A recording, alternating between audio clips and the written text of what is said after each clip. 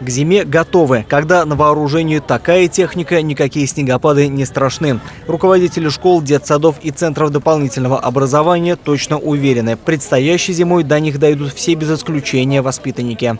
Дорожки будут расчищены еще до начала занятий, тогда как раньше орудовать лопатой можно было целый день. Снег убирать приходится ежедневно, потому что возле образовательных учреждений должен быть свободный проезд.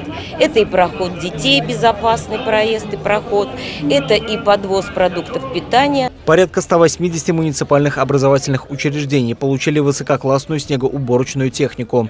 На ее покупку из городского бюджета выделили около 5 миллионов рублей. В целях реализации госпрограммы по импортозамещению и экономии бюджетных средств вся техника отечественного производства. Мы сегодня создаем новые стандарты уборки города. И нам важно, чтобы управляющие компании, которые в большом обилии присутствуют на нашем рынке, вот эти стандарты перенимали.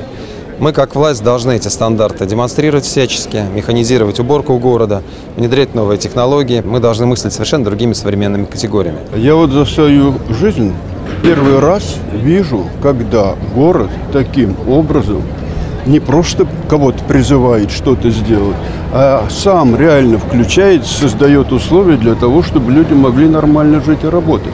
Это событие продолжает череду позитивных преобразований в отрасли благоустройства. В этом году приобретено 52 спецмашины для уборки города. Это крупнейшая партия за последние годы.